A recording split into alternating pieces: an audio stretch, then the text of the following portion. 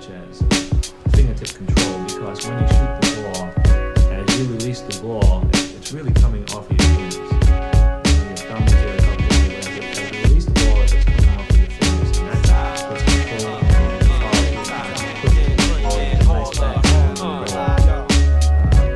You have to spread your hands.